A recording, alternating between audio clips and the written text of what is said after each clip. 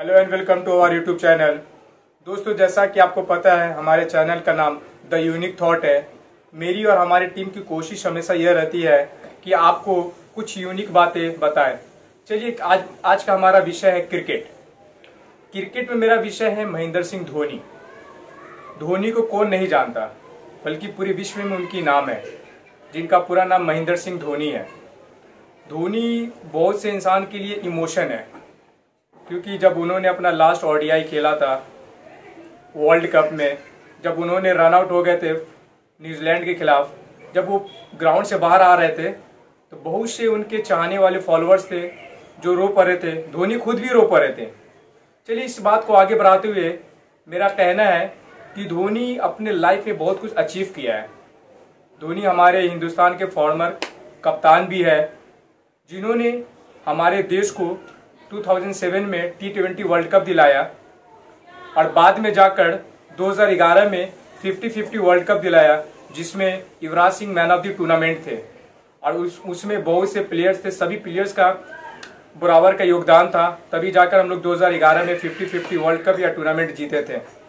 2013 में ICC champion trophy भी हम लोग ने जीता। तो धोनी एक उस शख्स का नाम है कि जिन्होंने आईसीसी के लगभग सभी टूर्नामेंट जीते हैं।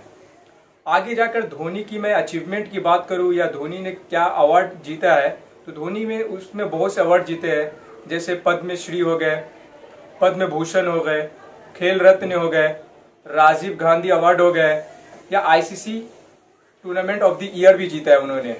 देखिए, मेरा मानना यह है कि धोनी, मुझे कहीं ना कहीं ये डाउट हो रहा है कि आगे जाकर कहीं धोनी पॉलिटिक्स ज्वाइन करेंगे। क्या उनको पॉलिटिशियन की तरफ़ से ऑफ़र आएगा कि आप मेरे पार्टी में शामिल हो जाए? एज अ फ़ैन और या आप लोग जो व्यूअर है, जो देख रहे हैं एज अ फ़ैन आप चाहेंगे कि धोनी कभी पॉलिटिक्स में ज्वाइन नहीं हो।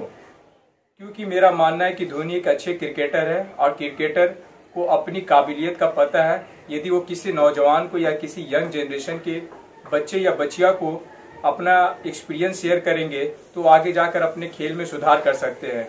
इससे पहले भी बहुत से क्रिकेटर हैं जिन्होंने पॉलिटिक्स ज्वाइन किया है। जैसे मैं आप उनका नाम बताना चाहता हूँ।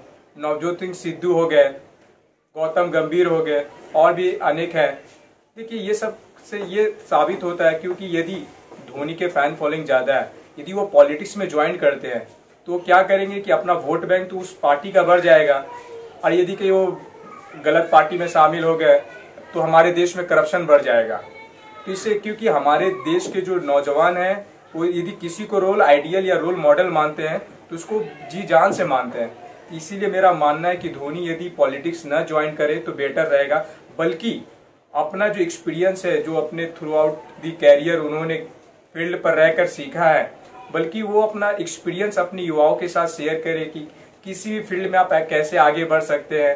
यदि धोनी कोई मोटिवेशनल स्पीकर बन जाए, क्योंकि अपने युवाओं को सिखाए कि आप ये ये काम ऐसे करेंगे तो आप लाइफ में आगे बढ़ेंगे। और आप आगे बढ़ेंगे तो हमारी देश भी आगे बढ़ेंगी। इससे क्या हुआ कि मेरे देश को फ़ायदा होगा और आगे जाकर पूरे विश्व में आपका नाम होगा।